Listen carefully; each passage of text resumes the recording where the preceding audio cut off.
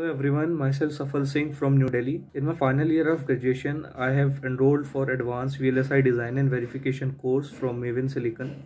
During the course, I have been taught many core skills like digital design, Verilog, system Verilog, UVM, and Perl scripting, along with business communication classes which helped me to improve my communication skill as well as uh, resume review sessions and linkedin profile uh, review sessions were also planned.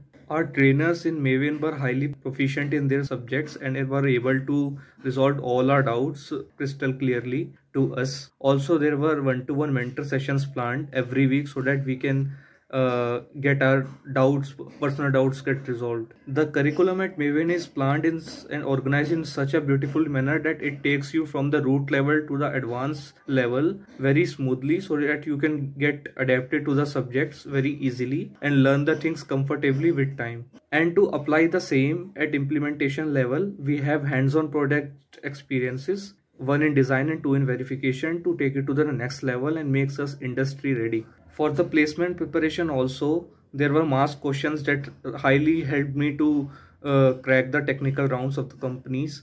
And also subject matter expert sessions were planned that were highly informative and gives you a lot of uh, skills on and stronghold on subjects and concepts with all this i was able to achieve my goal and recently i got placed in cadence design system i want to express my sincere gratitude to the entire team maven especially my trainers mentors who were always there to support me in each and every aspect. Lastly, I will rec recommend all the aspiring VLSI aspirants out there who are looking to start their career in the VLSI industry.